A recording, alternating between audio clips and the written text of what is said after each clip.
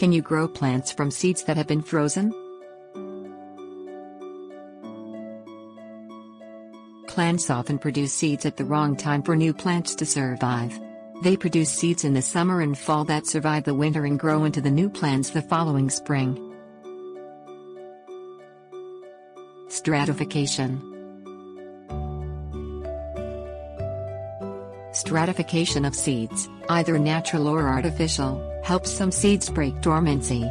Seeds are kept moistened at temperatures below 40 degrees Fahrenheit for a specific length of time. Some seeds require temperatures below freezing in order to break dormancy and germinate. Seed banks Seed banks store seeds in controlled environments with temperatures well below freezing.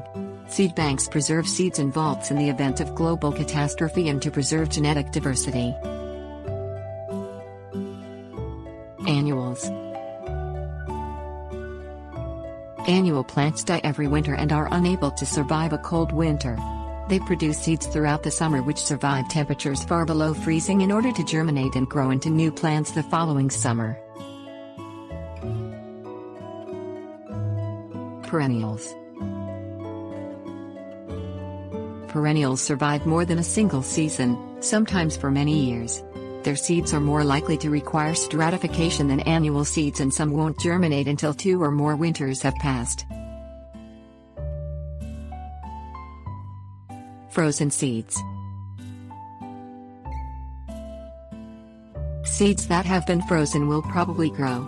It depends on the length of time they were frozen, how they were stored and what type of seed it is.